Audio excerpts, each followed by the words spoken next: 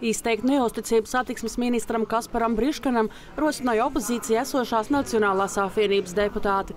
Partijas vērtējumā Briškans nespēja vadīt nozari, pieņemt lēmumus un tos atbilstoši skaidrot. Vai jūs tiešām neredzat, ka satiksmes ministrs netiek galā ar saviem pienākumiem?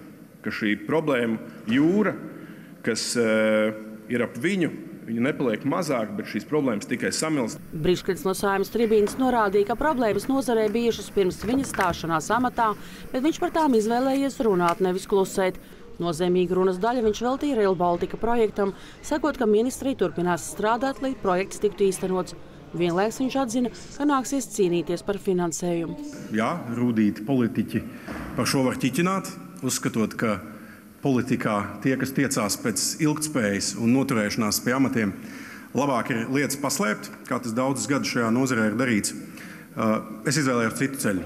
Debatēs opozīcijas deputāti neslēpj savu vērtējumu par satiksmes ministru, norādot, ka viss, kam šī gada laikā pieķēries Brīškens, iezīmējas ar haosu un problēmu pieaugumu.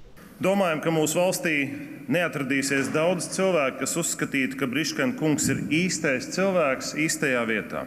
Jūs sēžat bāls tagad šajā savā krēslā, tāpēc ka jums nav ko pateikt, jums nav ideja. Jūs varat tikai mūdēt pa tukšo, bet uh, tauta jūs jau ir sapratusi. No koalīcijas partijām saimnes tribīnē aizstāvēt Briškanu kāp tikai ministra partijas biedris Andris Šuvājos. Viņš norādīja, ka progresīvo frakcija atbalsta savu ministru un viņam uzticas. Par neusticības izteikšanu Briškanām balsoja 43 deputāti, bet pret bija 48. Madara Līcīta, Kaspars Markus, Latvijas televīzija.